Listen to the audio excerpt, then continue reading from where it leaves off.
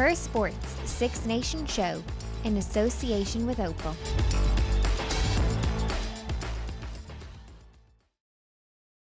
Hello and welcome to episode 4 of the Her Sports Six Nations show brought to you by Opel, the exclusive car partner to the IRFU. You can catch up on this episode and every episode in the series on YouTube and our social channels or listen to the podcast on every podcast app. So in round 3 we saw Ireland get their first win against Italy. What did you make of the match?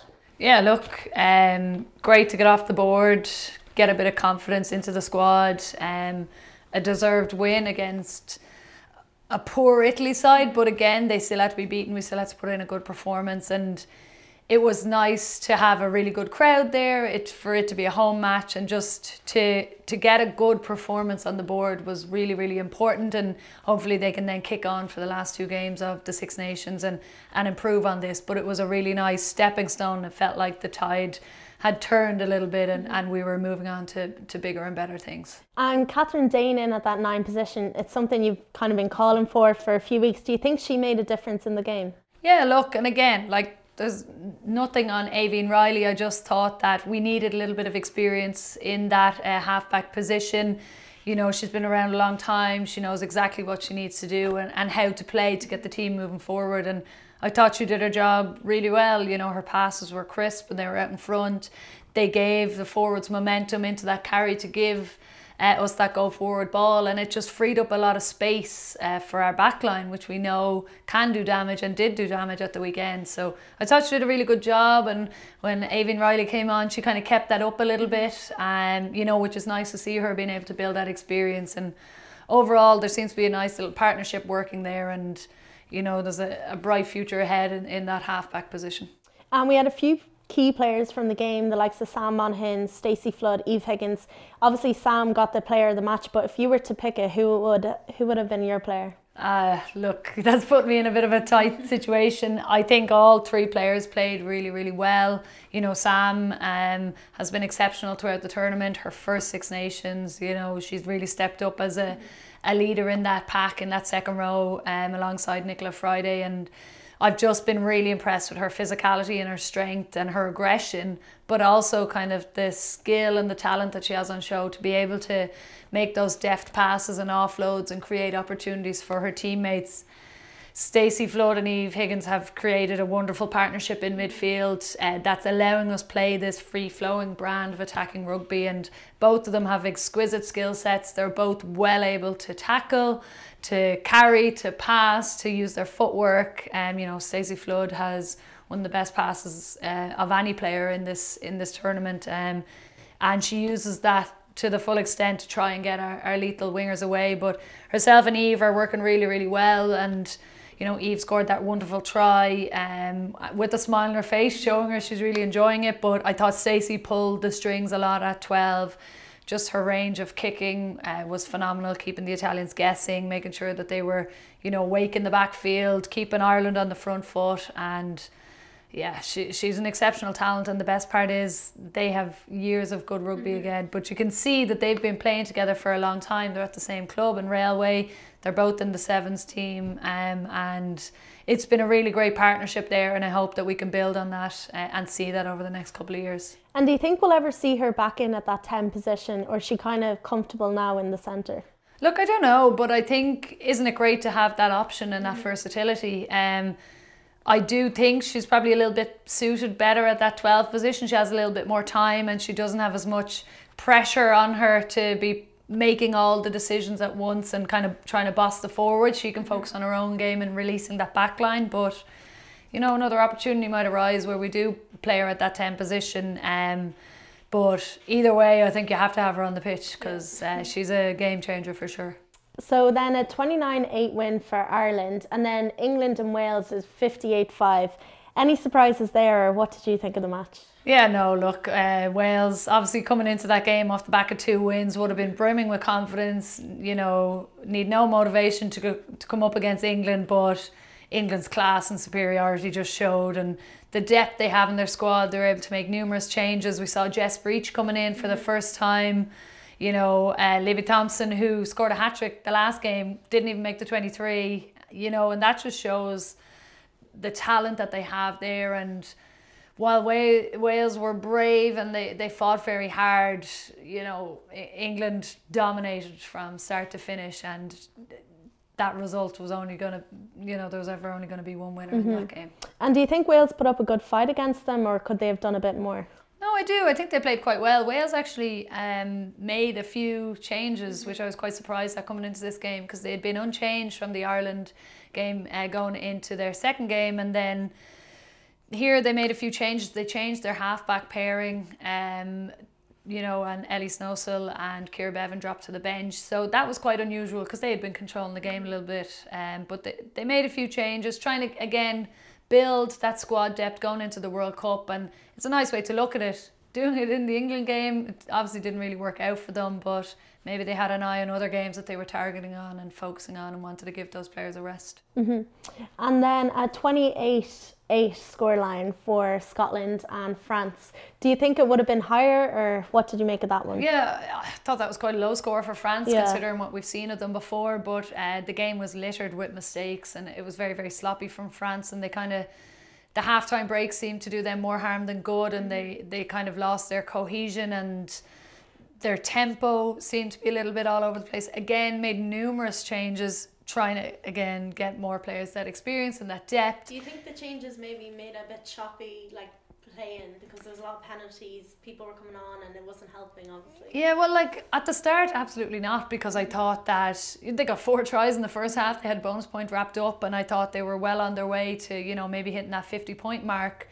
Um but yeah, second half just didn't happen for them and it wasn't quite going right. Scotland really put up a massive fight, you know, and um, I just thought that that's kind of France for you. They can be quite unpredictable. They're not always brilliant and we have seen in the past that away from home they're not, you know, they're not fantastic. And and the last time that Scotland and France played in Scotland, it was a draw. So uh, Scotland were always going to fight for that. France were superior, but I do think the changes kind of um, just caused a little bit of cohesion issues and, and stuff like that. But look, still an easy enough win for them in the end. So round three, I think it sets up. I suppose in two weeks' time, the next game's quite. It'll be quite exciting to see what happens. But looking back to Ireland and Italy, what were the key moments that stood out for you? So obviously the set piece there was very well improved. Yeah, look, a huge positive to come from that was that we actually uh, forced Italy into conceding four scrum penalties, which is massive again considering we're not the biggest team, we're not the yeah. biggest pack, but there just seemed to be a huge shift in attitude and focus around the set piece and we got a lot of reward from that was which was really exciting. I thought Christy Haney had a huge impact coming in for her first Six Nations start. The home crowd obviously giving them a bit of a lift. There was a huge media build up of this, and you know Italy were there for the taking. They also came into this game with uh, two losses, you know, and it, it was nice to see us really take control and take charge of that. But definitely getting four scrum penalties uh, is a huge win for that front row. Uh, huge learning curve. Our line out maul attack and defence was a lot better. Neve Jones uh, ended up getting a try at the end of that as well. Her first Six Nations try. Um, so it was fantastic to see from that. Uh, look, there was plenty of positive moments. Lucy Mulhall getting over for the first try of the game. Her first uh, try in a 15s jersey, which is great to see. And you could see the smile on her face. And there was a lovely image going around of Lucy scoring her try and in the background Stacey Flood and, and Eve Higgins and uh, Amee-Leigh Murphy Crowe jumping for joy in that and that really highlights kind of the team cohesion and unity they have and uh, you can see they're building on that and really getting to know each other. Um, Katie O'Dwyer came off the bench, made a big impact, got her first try, a little bit fortuitous, but look, she needed good footwork and yeah. good hands to take it, and they all count. And obviously try of the round. Uh, Eve Higgins, beautiful dink in behind from Kathryn Dane off her left foot, her her weaker foot. Eve judged it beautifully and a great try and again smiling as she's scoring it you know just showing that they're loving their rugby they love when they actually get to play that lovely brand of uh, attacking rugby and it shows we're a really good team when we can keep the ball and hold on to it and, and move it and then we obviously had Aoife in there for her first cap, but then she got a subsequent yellow card. As a player, what would that feel like? Yeah, look, um, Aoife Wafer, obviously, you could see she was a little bit upset and emotional when the yellow card came. Probably a little bit too exuberant um, when she came on in that back row, in that Uh, she just kind of got the clear out timings a little bit wrong and ended up rolling her player, which can't do anymore. But what I loved about her character and her resilience was that she came back on. You know, she didn't say, I'm not going to put my hands on the ruck anymore for fear that happens again. And a couple of minutes later, she went back in and she won a turnover penalty in, in the ruck. And it is hard. And, you know, you've just come on your first cap, you're full of emotion, Yeah, you'd full have to of feel for adrenaline. her. and then you have to go sit in a plastic chair for 10 minutes and know that you may have cost your team. But I just thought it was brilliant that she came back on. She made a big impact. The team got around her, and the social media images of her singing her, her first cap song afterwards was brilliant. And uh, yeah, no, look, uh, there's been a lot of talk about her as a young up and coming player. She's only 19, she's been playing rugby a long time. Um, you know, and uh, she could be a really, really good and important player for Ireland in the future. And that was obviously Aoife's first experience and something she'll look back on getting a yellow card. What was yours first cap? Do you remember it, that, Yes. that match? So my first cap also was actually against Italy back in 2015. Um, I started on the wing. It was a Friday night game, so I had to wait until like eight o'clock for kickoff. It was the longest day ever. Um, it was rainy and drizzly. Definitely not a night for a winger. I don't think I got past the ball too many times, but. I was really nervous, um, but also like immensely proud and just couldn't wait for the game to start. I had been capped by the sevens team before, so I'd kind of been in similar environments, knew a lot of the players. You know, there was uh, four or five other players, including Sene Naupu, Katie Fitzhenry, uh, who were getting their first caps that day too. So I wasn't alone in that, but uh, it was an incredible experience. Um, you know, I just even thinking back now to like my first cap song and the whole What- what flying was out, your first flying cap back song? there uh, for 15s. Um, God, probably showing my age a little bit, but um, my first cap song was the Cup song from Pitch Perfect. Oh, Um, yeah. yeah. So There's a bottle right in front of you there. No, no, I'm not, absolutely not uh, recreating that. But uh, it was actually a really nice atmosphere. As I said, there was five of us who um, made our first cap there, so it was a really nice environment.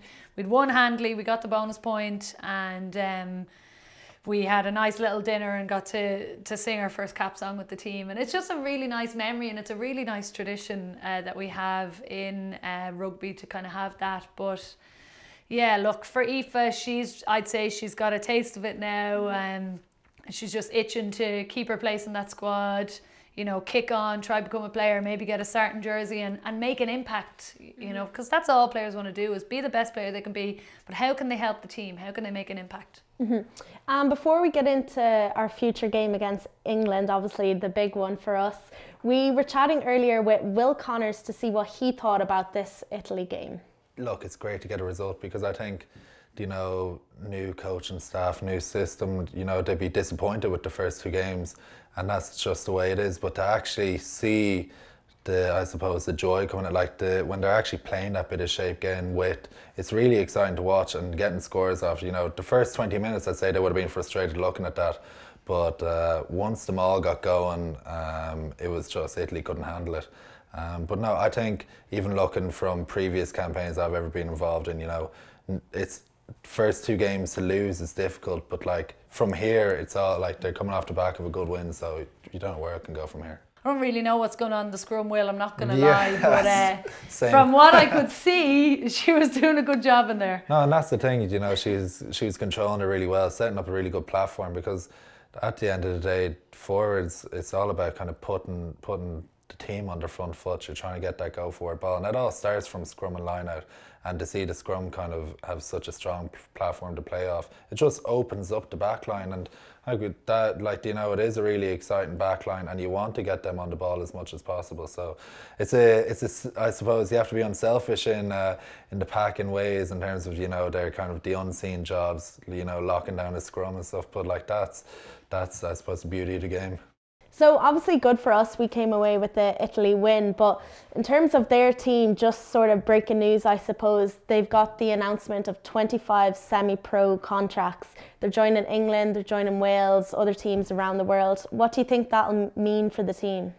Yeah, look, I suppose it can only be a positive for women's rugby as a whole, and, and particularly for uh, Italian rugby. You know, they're going to the World Cup um, this coming um, October, and so they're obviously looking at this as a way to build and develop their players and improve uh, the team in the build up to the World Cup. So look, it's a great opportunity for those players. They've never had this before. You know, they can really focus on rugby right up to that World Cup and then give it their best shot. You know, they were in the last World Cup, but they probably won't be too happy with um, how it ended for them. And you know, look, isn't that the dream for, for a lot of players is to be able to uh, be given an opportunity to be the best player you can be in a professional or semi-professional environment. So we're not quite sure exactly what that will entail or how that will work for Italian rugby, but I've no doubt it can only benefit them. You know, they'll be obviously coming off the back of, of three losses out of three now, wondering how do we go,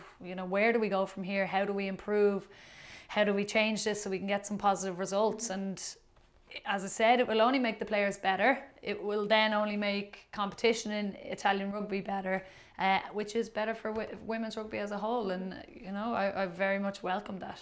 And the announcement, as you said there, it is off the back of three losses. What do you make of the timing of it? It's interesting, I think, that it wasn't before the campaign or even after. It's just right in the middle of it. Yeah, I don't know. Like, it's hard to know whether players knew about that maybe before the Ireland game that this was coming down the line. Was it a knee jerk reaction that they've realised we're not at the standard we need to be and that these other teams are above us and we need to do something fast? Um, so it is hard to know what they're talking about. But again, like, they obviously feel like this is something they needed now rather than later and so why delay because we're at uh, we have a limited time period before this World Cup begins and we need to maximise every opportunity that we have. Mm-hmm. And it'll be interesting then, obviously, we came into the Italian game knowing there was the possibility of a win.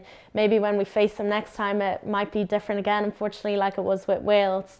But looking into our next game against England, we obviously have all the sevens players, they'll be gone. There's been a lot of talk about it, but can you just explain what does it mean that these sevens players won't be on the team? Yeah, so um, these girls, the likes of Stacey Flood, Eve Higgins, Lucy Mulhall, there's a group of them there. They're all contracted sevens players uh, within Irish rugby. And so what that means for them is that they are semi-professional essentially and that they um, are when the Six Nations is not on, they're still training full time um, or part time because they're on what's known as this Sevens World Series. And this is basically like an international league uh, made up of 12 teams, including the likes of New Zealand, Australia, Fiji, Canada, USA, and then European teams like um, Spain, France, England, Russia, all those uh, teams there. And so they play in a uh, international league that's held in different locations around the world. And so there's a couple of different legs every year and for the current seventh crop that we're going to lose for these next two games, um, they're heading to the Langford Sevens in Canada. It's been a, a stop there on the series for the last five or six years. So they'll go over there and play in a sevens tournament over the weekend. And, and what that essentially entails is they'll be drawn into a pool of four uh, other teams. They'll play every team once, uh, and each game is about seven seven minutes a half, so 14 minutes in total. So, say the tournament starts on Saturday, they'll play three of those 14 minute games on Saturday Saturday against everyone in their pool, and then depending on how those results go. On the Sunday, uh, you kind of get into the placings. So you go into quarterfinals, semi-finals, finals, or else ranking places like ninth, tenth, um, seventh, eighth, fifth, sixth kind of stuff. And so they'll then play two to three games on the Saturday and or Sunday. And when you finish that tournament, for example, Ireland came second in the last leg of the tournament in Seville, our best ever finish. It was excellent. Uh, they will have gotten a certain amount of points for coming second. And after each leg, your points are added to the table. And at the end of uh, the year, the winner or the one with the team with the most points wins the World Series. Um, and it's just a great way to, I suppose, show the growth of sevens, you know, travel the world. You know, it's an opportunity to go to countries like New Zealand, Australia, Canada, um, which you may not get an opportunity with otherwise. Um, and what why it's massively important and why we're, we're seeing these sevens players leave is one they're contracted um so you know that's their priority for the most part mm-hmm. uh, it is a world cup year this year um so there's a world cup on in cape town south africa this coming september um that ireland hope to be at both their men and women's and you know, they need to be building that squad, building experience, getting that depth, putting in good performances so that when the World Cup qualifiers come along, they're in a good position to reach it. Mm-hmm not this year, but last year with the Olympics, uh, the World Series is an opportunity to qualify directly to the Olympics. So if you come in the top four of the World Series, you automatically uh, qualify for the Olympics if it's an Olympic year. Um, outside of that, you you can qualify through your regions like Europe and and um, America and all that sort of stuff. So these girls like they've been playing sevens together for years you know they were mainly sevens players before they were given an opportunity to come in and, and try and get a 15s jersey. And so with it being a world cup year with them having performed so well in seville you know i think it is important to understand that they're not just going off you know and doing something else. They're going off to play rugby for Ireland at a senior level at an international competition that is really, really important and that it's a World Cup year and they're building for that. So absolutely it's a massive loss. Um, so who are we talking? So more look, I obviously who I know is contracted and who potentially might be going, it depends on team selection. We're looking at the likes of Beibhinn Parsons, Amee-Leigh Murphy Crowe, Lucy Mulhall, um, Stacey Flood, Eve Higgins, Brittany Hogan, mm-hmm. uh, Aoibheann Reilly potentially. Um, they'd probably be your your main players from say the Italy game who uh, and from the squad who could be going. That's not to say all of them will go, mm-hmm. but those are players who are contracted to sevens and potentially will go. And the thing is, like, it's again they're going off to play for their country, you know. But it's an opportunity for players who aren't going to step up and and you know see can they make that jersey their own, mm-hmm. you know. And as I said, they're both senior competitions. They'd love to play in both teams if they could, but unfortunately there's a clash, and that's what happens. And you know, it's a World Cup year. They're prioritizing sevens for this, and and that's totally understandable. And will other countries lose the same amount of players as Ireland? Um, I'm not sure about the same amount of players, but we saw with France already, like uh, their number 10, Caroline Drouin, she is an experienced sevens player, and so is Chloe Jacquet, who played in the centre. Uh, Drouin didn't play last week. It'll be interesting to see does she play in any more Six Nations games or does she go off with the sevens and the same with, with Jacquet. England, um, I'm not quite sure. Ellie Kildunn is a former sevens player, so it'll be interesting to see is she still there. Alex Matthews, another sevens player who they potentially could lose. But the, the, the issue here and why there's such a media hype, I suppose, is that England have such a huge depth of talent and resources that losing one or two of those, we've already seen the, the amount of changes they've made. Like they it hasn't made a difference whether they've been in the squad or not. We're going to lose potentially almost our whole back line. And it's not that the, the players coming through aren't talented enough. It's that have we played together enough? Do we have enough experience in there to be able to come through and play an experienced team like England? You know, have we gelled enough?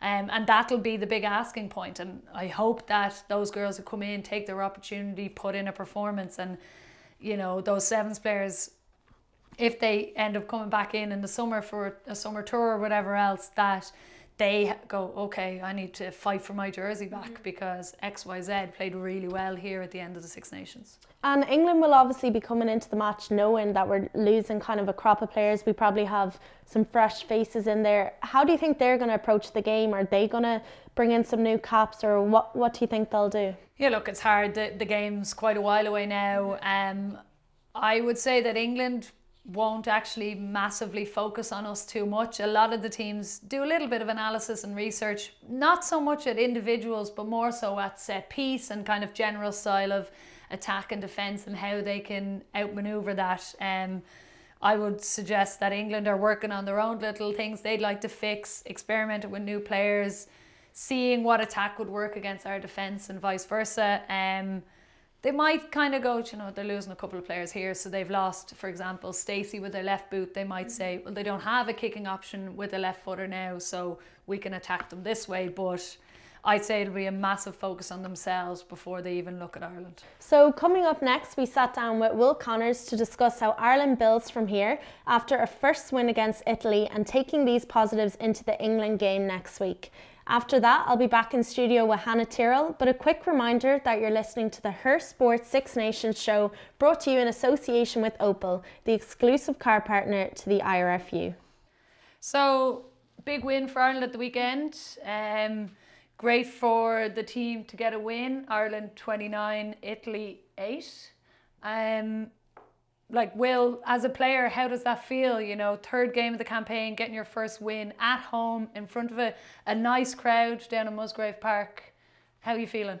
Yeah, no, I look, it's great to get a result because I think, you know, new coach and staff, new system, you know, they'd be disappointed with the first two games, and that's just the way it is. But to actually see the I suppose the joy coming at like the when they're actually playing that bit of shape, getting width, it's really exciting to watch and getting scores off. You know, the first twenty minutes, I'd say they would have been frustrated looking at that, but uh, once the all got going, um, it was just Italy couldn't handle it. Um, but no, I think even looking from previous campaigns I've ever been involved in, you know, it's first two games to lose is difficult, but like from here, it's all like they're coming off the back of a good win, so you don't know where it can go from here. Yeah, absolutely. Like it was a nice game to get the win. You still have two games left to try and improve and build on that. Um, but that that maul defence there, we've seen Neve Jones get the try off that, and it's something obviously that they've worked on this campaign. It wasn't great in the first match. Do you think that really helped them in this game, like compared to that first game, which we seen their maul wasn't there at all? Well, I think just in general, what we saw in, in, that Italy game was that as the game went on, they really grew into mm-hmm. it and, and their confidence grew and they started to play a really nice brand of rugby and, and get their explosive, dangerous players going. Mm. But yeah, in particular, our set piece against Italy massively improved. Our scrum looked better. Our line out uh, still a little off and not quite cohesive yet. But as you said, our maul attack worked a little bit better. We got that nice try for Neve Jones, her first, a special moment, but the Maul defence itself was a little bit better again because, again, teams are going to be focusing and looking at that and going, that's an area of weakness. And they kind of improved on a little bit. So And there was a change of players in the team for kind of the first time. We'd Hannah O'Connor in there, Kathryn Dane starting at nine. Do you think that made a difference to the game? Yeah, I think uh, Greg got his selections uh, pretty spot on in that. I'm sure there was a lot of players disappointed. You know, we've all been in, in that situation where you're left out the match day 23 or moved from starting to the bench, but it is in the best interest of the squad for who he picks. And, you know, I thought Hannah O'Connor stepped up really well at number eight. Kathryn Dane brought a lot of tempo um, and just that kind of calm, cool collectiveness that you need from a nine. Um, you know, I've been kind of vouching for her to start for a long time, and I think I was quite justified. I must be listening in. like but, you know yeah. Kathryn Dane quite well, and like you know what type of player she is from her time yeah. at Leinster. And that's the thing; she has such a nice pass, and you can see that like. Uh, the fours are getting involved or in interplay because they're able to push that little step wider. She's getting them involved, and uh, even from that, I found that like uh, Stacey just playing that kind of pressure rugby game. It's like the Italians were throwing a lot at them, and then you see Stacey kind of kicking the corners. Even that, what was I want to say, it was on 25 minutes, she put it into the corner, and then Parsons comes and tackles her into touch. And it's just like that was the turning of the tide. That's where you kind of saw, like, um, you're like, oh yeah, look, this is they're they're out here to play, and now and it was great to see. So that's that's exciting. To, like going forward, that kind of kicking game. I know obviously with the sevens tournament coming up, it could be a different selection, but um, yeah. Stacey's a it's like a hugely unpredictable player and I think what makes her so dangerous is that she's really developed that kicking game and she is a really good runner and stepper as it is she has a wonderful pass and she kept that Italian midfield completely guessing mm-hmm. Beatrice Rigoni from the Italian team is a super player but she wasn't in the game at all because Stacey just had her you know, each time. And as I said, she was kicking like into corners, pinging it, sticking up high, and just kept them guessing and really controlled that game. But she was given good quality ball from her nine and ten to be able to do that. Like, it's great to see them expanding and growing into that and getting the ball to our, our dangerous players. And Eve Higgins then, she obviously had a brilliant try. It was the... I'm sick of talking about Eve. I feel like every weekend she has a great game. and Try of the round for her. But what, what do you think of her performance so far this tournament, I suppose? We've been talking about her every week, but she had another brilliant match. Yeah, so you, you kind of highlighted her earlier as being a kind of a key player and one that you've really enjoyed yeah, watching. Like, and that's the thing, I think... Uh, she takes on the line a lot. There's there's all playing shape and stuff, but when she has ball in hand, she's unpredictable. She'll you know she'll kind of run at gaps, and it keeps defenders guessing. And that's the thing. She's got that bit of that bit about her that she you can't really take your eye off her, and and she has been exciting. I think through the whole campaign, but. Even like like I said, it was great to see her uh, get over for the try, smile on her face.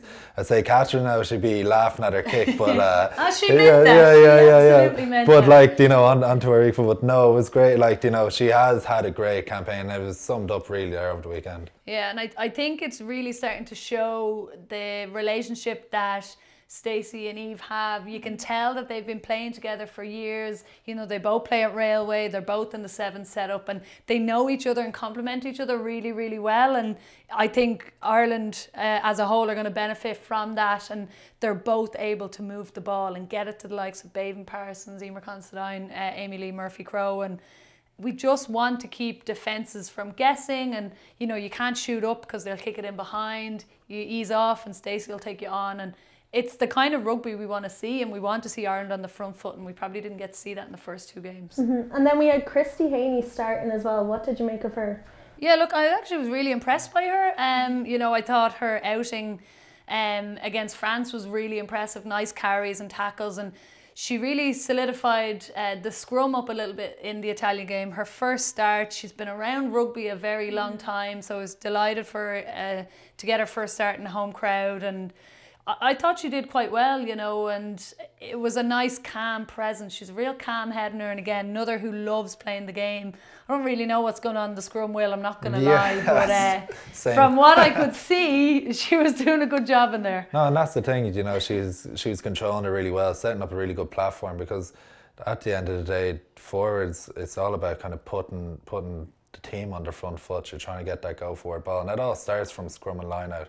And to see the scrum kind of have such a strong platform to play off, it just opens up the back line. And I could that like you know it is a really exciting back line, and you want to get them on the ball as much as possible. So it's a it's a I suppose you have to be unselfish in uh, in the pack in ways in terms of you know they're kind of the unseen jobs, you know locking down a scrum and stuff. But like that's that's I suppose the beauty of the game. Yeah, and that, that's what it is. It's that you're working as a unit, as an eight together to provide that go forward ball, get really good uh, movements off it. And, and it is that dirty work that you kind of don't get a lot of praise for. But then again, you have someone like Sam Monaghan who's getting a lot of praise recently, and, and it's well deserved because of that dirty work that she's doing. But she's pairing it up with, again, some wonderful tackles, some wonderful breaks and offloads. Um, and I think she's been a massive addition to this Ireland pack, particularly um, when we've lost the likes of Lindsay Peat, uh, Ciara Griffin, Claire Molloy, who added such physicality to our team.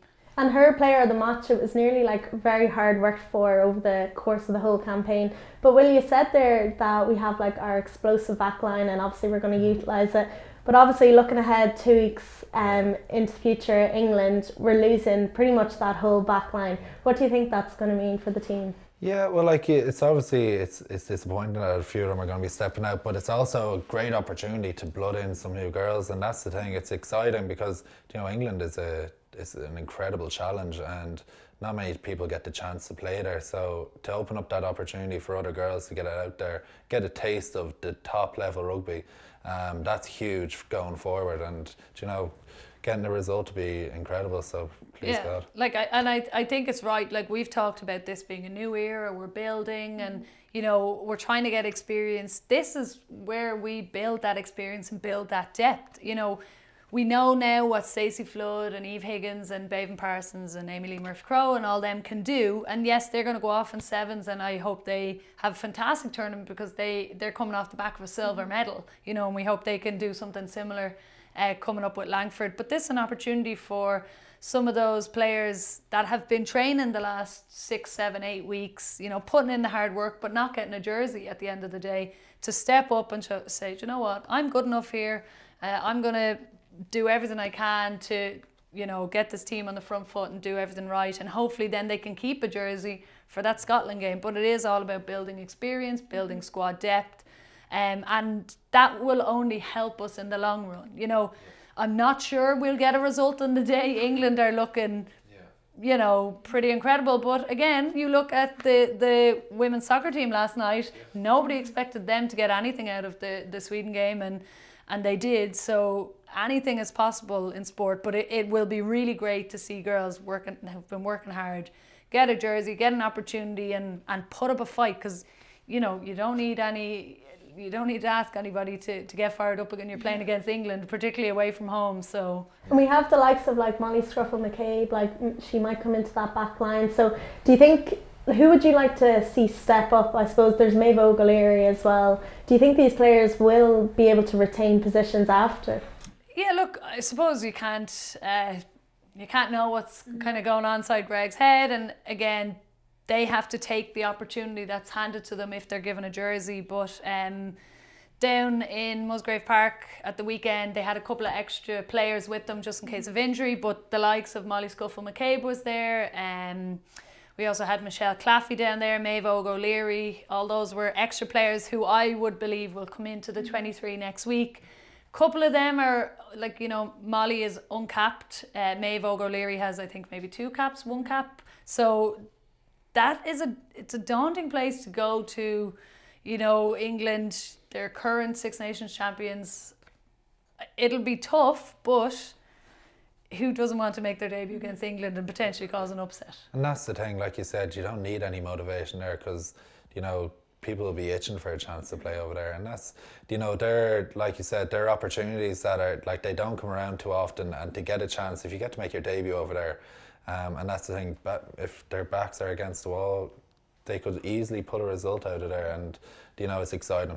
And but like nothing is guaranteed in sport. Just because you had the the number seven jersey for the last game doesn't mean you're guaranteed it in the next game, even if you played the game of your life. And so those sevens girls who are going off to Langford know that someone else is itching to go to take their place um, to take that opportunity. And when they come back, they're going to have a battle on their hands to, to get a jersey back. And that's what you want because competition in the squad improves the standard overall, then it improves the team and it makes it competitive when it comes to games and makes you have to be a better player if you want a jersey. And what would you both like to see from the game? Obviously, England are kind of favourite. Is that too much to ask? if the win wasn't on the cards, what would you be hoping to see from what will probably be a lot of new caps and new players in there? I think just um, a lack of unforced errors, you know. So if we could just get our basic handling and execution right, that will create opportunities, regardless of who you're playing. If you get your handling and execution of plays right, space will open up if, if we if everybody does their job right. So against France, we didn't give ourselves an opportunity because we knocked on so many balls and we gave away so many penalties. If we could cut that out, you know, and, and put in a performance and fought for 80 minutes, I'd be very happy with that. And Will, what do you think? Yeah, like I'd, I'd love now to see them all going forward again. I think we got a glimpse of how destructive it can be, and you'd love to see more of that. But then even defensively, um, you know, I always find you see kind of the, the passion and fight in teams, how they how they shape up defensively, and I'd love to see that. You know, you know, girls coming off the line, making big hits. You know, trying to trying to get turnovers, and that's where you see that kind of that camaraderie, that kind of collective team spirit. I always find that's always in the defence. So I'd love to see a bit of that, but. Question for you: Would you rather score a try or make a dominant hit? A dominant hit all day. It's an interesting one. You'd know he was a forward. so obviously with the loss of these sevens players, there's going to be a few changes to your fantasy rugby team and you're already sitting there top of the table. But what difference is the loss of these players going to make to your team? Yeah, look, I, I think I've gotten really lucky with my fancy rugby teams. I, I think I gave people a tip to back an English winger to be uh, captain last week, and most people probably picked Abby Dow, who was really unfortunate to go off very early in the game with a broken leg. Lucky for you, though. I picked Jess Breach, uh, who had just came in and scored a couple of the easiest tries I think she'll ever score, and kind of got lucky in that regard. But yeah, I had this week I had uh, had to make a few tweaks. Um, and I had Stacey Flood in my team, I had Eve Higgins, um, I had Beibhinn Parsons, you know. Um, so I am going to have to make a few changes, but. Um, Who do you think is going to fill those positions in that back line for you? Like, it's hard to call. Um, judging by who they brought down to Musgrave Park as extra players last week, um, the likes of Michelle Claffey potentially could come in. She has experience. She would have played England before. You know, Enya Breen has been uh, there, thereabouts with the squad the last uh, couple of camps as well, and or sorry, a couple of games. So I think they could maybe potentially form the midfield partnership again. Uh, Claffey very experienced. Enya has been around, doesn't have too many caps to her name. She had a lot of injury worries, but like they're well able to step up and know what's required of that standard. I presume someone like Aoife Doyle will come in off the wing, but I do think we might see a, a new cap in the back line there because we're losing a lot of our back three players. Um, so yeah, I'll have to make a, a couple of changes to my fantasy team. Like it's very hard to judge. England seem to have a new team every week, so you can't really rely on them until the teams are out. But uh, yeah, we'll see. We'll see what teams are thrown out and see if I can stay top of the leaderboard. But uh, I'm, I'm not too hopeful. tactics wise, for that English side, who do you think maybe in the English backs will will get a look in on your team?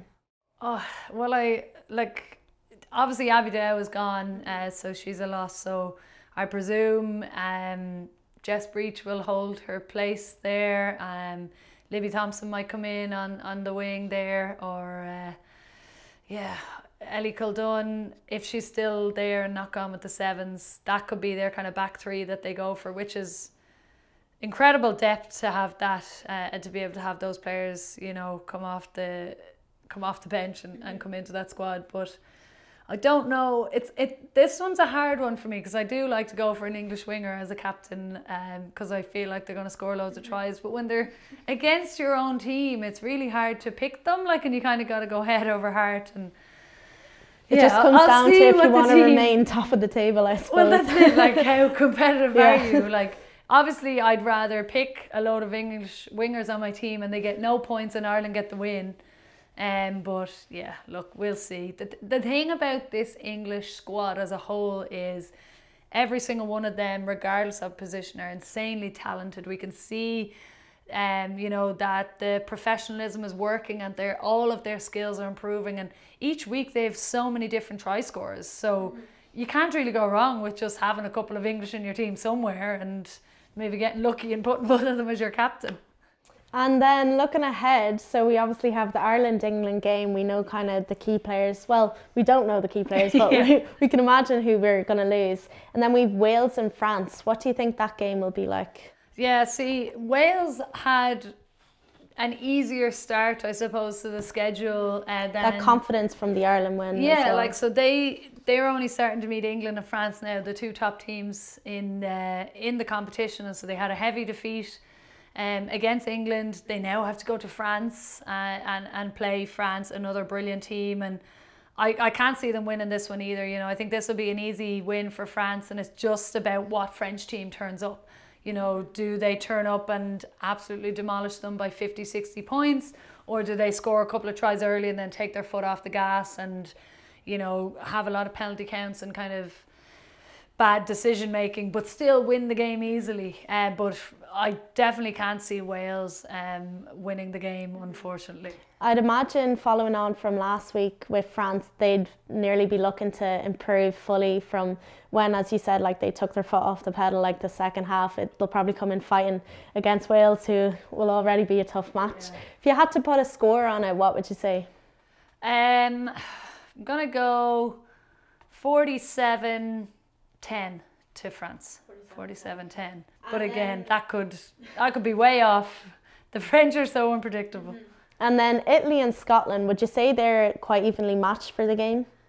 To be honest, from what I've seen, like both squads have talent and talented players. It's just they haven't been able to I suppose, put together a string of phases to be able to show what they can do. Like, if you look at Scotland, they haven't won a game yet, but they played England in the first game and England scored a couple of tries and looked like they were going to run away with it. But then Scotland actually came back and scored a lovely try of their own, showing that they're well able to play good rugby and stuff. But it's whether they can do that consistently. This will be the key to who finishes the bottom of the Six Nations, both going in with, with no wins. Judging by what I've seen from Italy so far, I'm going to I expect Scotland to shade it a little bit, but again, similar to the Scotland Wales game, I think it will be a, a very tight one. Um, but yeah, I'd expect Scotland to, to get over the line with that one.